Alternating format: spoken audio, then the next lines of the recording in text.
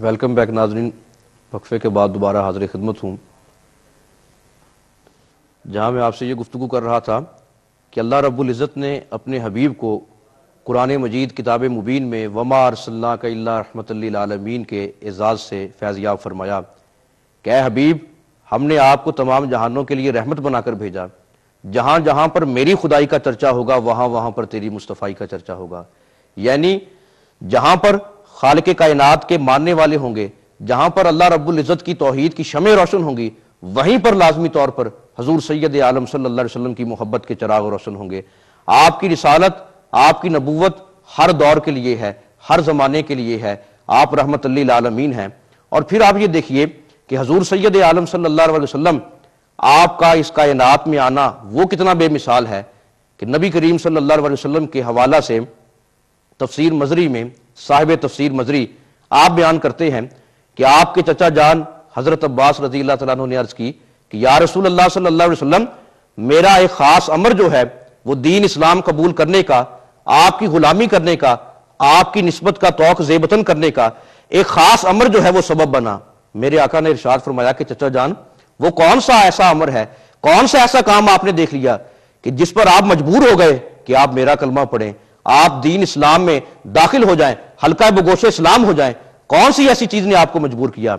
हज़रत अब्बास ने अर्ज़ की कि या रसूल अल्लाह सल्लल्लाहु अलैहि वसल्लम, मैंने ये देखा कि आपके बचपन का आलम है, पंगूड़े में लेटे हुए हैं, आराम फरमा रहे हैं, शीर ख्वारगी के लम्हात हैं। मैंने ये देखा, पंगूड़े में लेटे हुए तुनागिल कमरी व तुशीर इलेही, बीस बाई का फ़ाइसु अशरता इलेही माला। या रसूल अल्लाह सल्लल्लाहु अलैहि वसल्लम, मैंने ये देखा कि आप पंगूड़े में लेटे हुए हैं आराम फरमा रहे हैं। शीर खारगी के लम्हात हैं। तुनागिल कामरी व तुशीर इलेही बीस बाई का फ़ाइसु अशरता इलेही माला। या रसूल अल्लाह सल्लल्लाहु अलैहि वसल्लम, आप पंगूड़े में लेटे हुए चाँद की तरफ़ जो है, अपनी उंगली के साथ इशारा कर रहे हैं। जिधर जिधर आप इशारा करते हैं, उधर उधर चाँद जो है वो झुक जाता है। चाँद उधर उधर सजदे करता है। जवाब में मेरे करीम आका ने मुस्कुराना शुरू कर दिया।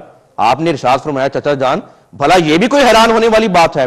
उस वक्त आलम यह था, कायनात में कैफियत यह थी। कुन तू हद्दीसूहू वायु हद्दी सुनी वयुल ही अनिल बुकाई, वासमाऊ वज बताहू ही ना यश जुदू ताहतल अर्शी। चचा जान, उस वक्त कायनात में आलम यह थी, चाँद मुझसे बातें कर रहा था, मैं चाँद से बातें कर रहा था। वयुल ही नी अनिल बुकाई, चाँद मुझे रोने से बहलाता था। वासमाऊ वज बताहू ही ना यश जुदू ताहतल अर्शी। चचा जान मैं चाँद की तस्बी तालील की आवाज़ सुन रहा था कि जब वो सजदा करता था अरशी अजीम के नीचे। अब हर बंदा अकल सलीम का दावेदार है कि अल्लाह रब्बुल इज़्ज़त ने मुझे अकल सलीम के साथ माला माल फरमाया है। अब मैं आपसे खुद ये पूछता हूँ कि मेरे आका ने यह इर्शाद फरमाया कि पंगूड़े में लेटा हुआ हूँ।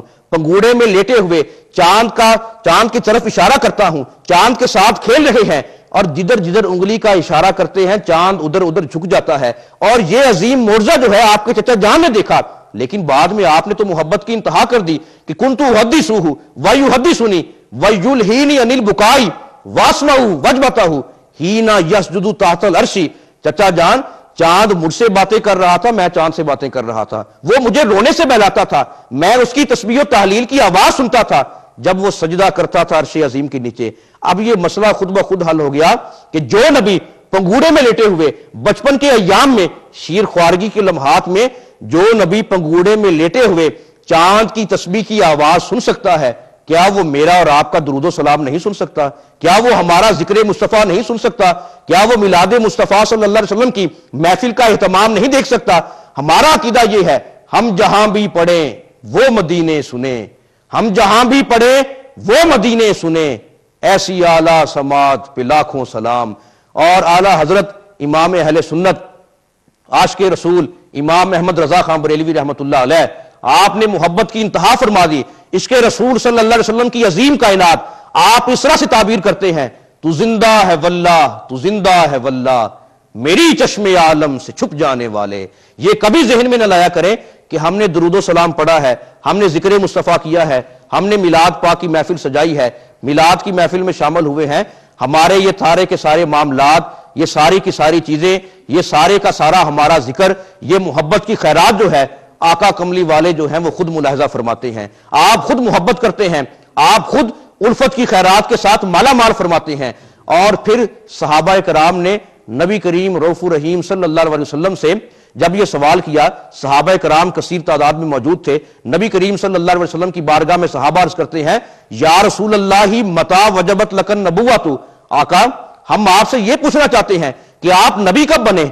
आप रिसालत के मनसब पर कब फायज हुए? नबूवत की बुलंदियों पर अल्लाह ने आपको कब मकाम अरूज जो है वो अता फरमाया?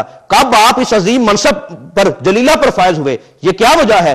आप ये बताइए, कौन सा वक्त था? कौन सी घड़ी थी? कौन सा लम्हा था? मेरे करीम आका मदीने वाले, आपने इर्शाद फरमाया कुन तू नबीयम वादम उबैन माई वतीन। कुन तू नबीयम वादम उबैन रूही वल जसदी।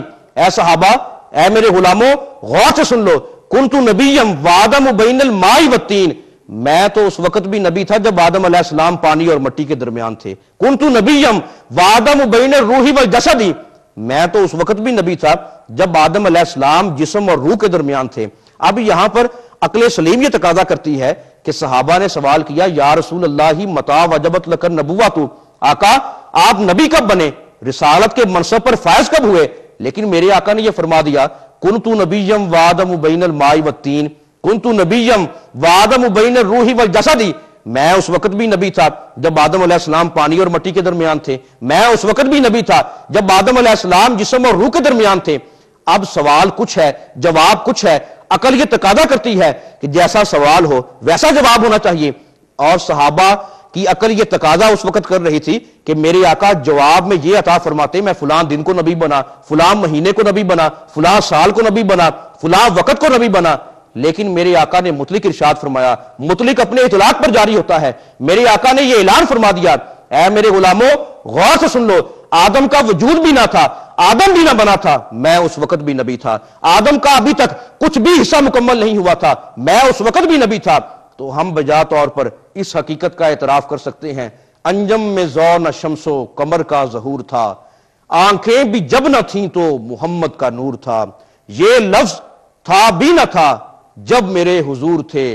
अल्लाह था या शाफी यौमन नशूर था। यानी कायनात में कुछ भी ना था। या नूर खुदा था या जमाल मुस्तफ़ा था और ये दोनों क्या थे वो नूर था ये इसकी तनवीर था वो मुदब्बर था ये इसकी तदबीर था वो कादर था ये इसकी तकदीर था वो मुसवर था ये इसकी तस्वीर था वो मुहर्र था ये इसकी तहरीर था या यूँ समझ लीजिए वो खालिक था ये मखलूक था वो मुहिब था ये महबूब था वो हमीद था ये अहमद था ये मोहम्मद था फिर अल्लाह रब्बुल इज़्ज़त ने अपने हबीब को वो बेमिसाल शान अता फरमाई कौन है ऐसा जो ये दावा कर सके? मोहम्मद सर बसर हमदे खुदा हैं। मोहम्मद जाने हर हमदो सना है। मोहम्मद है, मोहम्मद ही मोहम्मद। मोहम्मद मुस्तफ़ा ही मुस्तफ़ा है। यानी जब कायनात में कुछ भी ना था, नूर मुस्तफ़ा उस वक्त भी मौजूद था। और ये सारी चीज़ें बाद में बनी हैं। अरशो कुर्सी बाद में बनी है, लोहो कलम का वजूद बाद में हुआ है, ज़मीन व आसमान बाद में बने हैं, हर चीज़ बाद में बनी है। सबसे पहले खाल के कायनात ने नूर मुस्तफ़ा को पैदा फरमाया। और एक और दलील हमें मिलती है, हज़रत जाबर बिन अब्दुल्ला अंसारी रज़ी हो नबी करीम रऊफ़ रहीम सल्लल्लाहु अलैहि वसल्लम की बारगाह में यही सवाल करते हैं कि, या रसूल अल्लाह वसल्लम, अल्लाह रब्बुल इज़्ज़त ने इस कायनात में सबसे पहले किस चीज़ को पैदा फरमाया, किस चीज़ की तखलीक फरमाई? मेरे करीम आका ने खुद अपने मिलाद की अजमत को बयान फरमाया। खुद अपना चर्चा जो है, वो खुद ज़ुबान नबूत और रिसालत से फरमाया। मेरे आका ने ऐलान फरमाया, या जाबिरू इन अल्लाह ताला खाला का कबल अशियाई नूर नबी का मिन नूर ही ए जाबर, कायनात की सारी अजमतें तेरी अजमत पर कुर्बान हो जाए कि तू सवाल भी उस करीम आका से कर रहा है कि जिसका नूर सबसे पहले तखलीक हुआ। अल्लाह के हबीब ने फरमाया, या जाबिरू इन अल्लाह ताला खाला का कबल अशियाई नूर नबी का मिन नूर ही ए जाबिर, तुम्हें मुबारक हो। इस कायनात में सबसे पहले अल्लाह ने तेरे नबी के नूर को अपने नूर से पैदा फरमाया। आरफे खड़ी शरीफ रहमत आपने इसी मकाम की हदीस जाबिर की। आपने तर्जमानी फरमाई कि सारे नूर उसे दे नूरू, उसदा नूर हजूरू, उसनू ताज अरसदा मिलिया, मूसा नू को तूरू। यानी ये सारे उसी नूर के जलवे हैं, उसी नूर की जेबाई है, उसी नूर की रानाई है, उसी नूर की दिलकशी है, उसी नूर की पजीराई है कि आज हम जो हैं, वो भी बावकार है। आज मेरे आका मदीने वाले के सारे गुलाम, आपकी सारी उम्मत जो है, वो बावकार है। आपकी उम्मत इतनी बेमिसाल है कि ऐसी अजीम उम्मत अल्लाह तबारक व ताला ने किसी और नबी को अता नहीं फरमाई। इसमें हमारा कोई कमाल नहीं, हमारा कोई खासा नहीं आप ये ना समझ लीजिए कि इसमें हमारा कमाल है कि हम जो है, वो अपने आका को अता किए गए, बल्कि ये हमारी खुशबख्ती है कि हमारे आका हमें तशरीफ़ लाए, हमें अल्लाह ने यह एजाज अता फरमाया कि हम आपकी उम्मत बन सकें। और ये हमारा शरफ है कि हमें अल्लाह रब्बुल इज़्ज़त ने अपना हबीब अता फरमाया कि जिनके कदमों की बरकत से, जिनकी निस्बत की बरकत से खाल के कायनात ने हम गुनागारों को भी बातौकीर बना दिया। हमें भी अजमत अता फरमाई, हमें भी रिफत अता फरमाई, हमें भी शाने और अजीम मनसब अता फरमाया। फिर आप देखिए कि ये जो हम रबी अव्वल शरीफ के आगाज़ में रबी अव्वल शरीफ का पूरा महीना, बारह रबी अव्वल शरीफ को, ये जो हम अपने घरों में, मसाजिद में, घर बार में और गलियों और मोहल्लों में ये जो मिलाद पाक की महाफिल को सजाते हैं, ये कोई आज का तरीका नहीं। ये सहाबा कराम मिलाद पाक की महफिल सजाते भी थे, मिलाद की महफिल में हाजिर भी होते थे, मिलाद की महफिल से मोहब्बत भी करते थे। हज़रत अबू बकर सिद्दीक रज़ी से किसी ने पूछा कि हजूर, आप ये फरमाइए कि महफिल मिलाद मुस्तफ़ा की अजमत क्या है? उसकी शान क्या है? उसका मकाम क्या है? ताजदार सदाकत मम्बा जूदो सखा खलीफातुलमसलमीन खलीफा अव्वल हज़रत अबू बकर सिद्दीक रज़ी हो आपने इरशाद फरमाया, मन अनफका दिरहमन अला किराती मौलिदिन नबी वसल्लम, काना रफीकी फिल जन्नती। अबू बकर सिद्दीक का अकीदा सुनिए, आप क्या फरमा रहे हैं? कह लोगो, तुम्हें मुबारक हो, जिस शख्स ने मेरे करीम आका मदीने वाले के मिलाद पर एक दिरम खर्च किया, एक रुपया खर्च किया, काना रफीकी फिल जन्नती, जन्नत में वो सिद्दीक अकबर का साथी होगा। उम्र फारूक, खलीफा सानी, अमीरुल मोमिनीन जब आपसे मिलाद की, अजमत की बाबत सवाल हुआ तो आपने इरशाद फरमाया, मन नजमा मौलिद नबी जी वसल्लम, फकद आहियल इस्लाम ए लोगो, तुम्हें मुबारक हो। जिस शख्स ने मिलाद मुस्तफ़ा की ताजीम की ताकीक उसने दीन इस्लाम को ज़िंदा किया। अब यहाँ पर गौर तलब पहलू यह है कि मालूम हुआ कि दीन इस्लाम की ज़िंदगी, दीन इस्लाम की हयात, दीन इस्लाम की चमक दीन इस्लाम की दमक जो है मिलाद मुस्तफ़ा के साथ मनसूब है।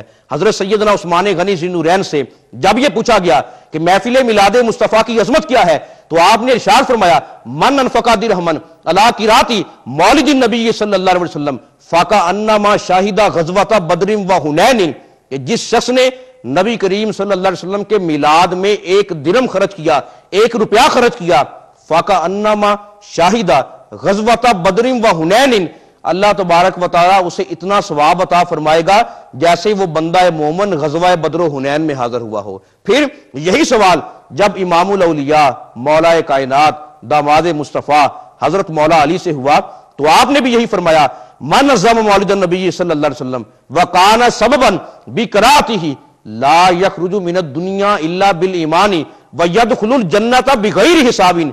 ऐ सवाल करने वाले, जरा गौर से सुन कि जिस शख्स ने मिलाद मुस्तफ़ा की ताजीम की। महफिल मिलाद में वो बंदा हाजिर भी हुआ। वकाना सबबन भी कराती ही। ला यखरुजु मिनत दुनिया इल्ला बिल ईमानी। और वो बंदा मोमन मिलाद की महफिल में आकर मिलाद खानी का सबब भी बना। उसने ज़िक्र मुस्तफ़ा भी किया, नाते भी पढ़ी। मेरे आका के उसाफ जमीला को बयान भी किया। जब वो दुनिया छोड़कर जाएगा, उसका खात्मा बिल ईमान होगा। यानी वो ईमान की हालत में दुनिया छोड़कर जाएगा। वयद खुल जन्नत बगैर हिसाबिन। तुम्हें मुबारक हो कि जब तुम मेरे करीम आका मदीने वाले के मिलाद के साथ मोहब्बत करोगे, ज़िक्र मुस्तफ़ा से मोहब्बत करोगे, ज़िक्र मुस्तफ़ा की लज्जत हलावत को अपने वेरान दिल में बसाओगे वयद खुल जन्नत बगैर हिसाबिन। अल्लाह तबारक वाली तुम्हें जन्नत में बगैर हिसाब किताब के दाखिल फरमाएगा। ये मिलाद की अजमत है, ये मिलाद की फजीलत है। हम खुशकिस्मत हैं कि मिलाद की महफिल सजाते भी हैं, मिलाद की महफिल में आते भी हैं। ये हमारा कोई कमाल नहीं, हमारा कोई खासा नहीं, ये हमारी कहाँ तोफीक, हमारी क्या हैसियत, हम गुनागार कौन होते हैं? ये तो मेरे आका की मेहरबानी है कि आपने हमें अपना बना लिया है। आपने हमें अपने ज़िक्र मुकदस के लिए मुंतखब कर लिया है। आपने हमें अपनी महफिल सजाने के लिए, अपनी महफिल में आने के लिए चुन लिया है। इसलिए कि हजूर सैयद आलम सल्लल्लाहु अलैहि वसल्लम ने जब हज़रत अब्दुल्ला इबनी अब्बास रज़ी अल्लाह की महफिल का जब आपने एहतमाम देखा तो आपने उसी मकाम पर ऐलान फरमा दिया। हल्लत लकुम शफाती। ए मेरा मिलाद मनाने वालों, तुम्हें मुबारक हो। आज तुमने मेरे मिलाद की महफिल सजाई है। हल्लत लकुम शफाती। अल्लाह रब्बुल इज़्ज़त ने मेरी शफात को तुम्हारे ऊपर हलाल करार कर दिया है। यानी यहाँ पर देखिए, ये कितना खूबसूरत जो है जवाब है कि जो शख्स मिलाद की महफिल सजा लेता है, जो शख्स मिलाद की महफिल में आ जाता है, वही शफात मुस्तफ़ा का हकदार बन जाता है। नाजरीन इकराम, यहाँ पर लेते हैं एक छोटी सी ब्रेक और ब्रेक के बाद दोबारा आपकी खिदमत में हाजिर होते हैं।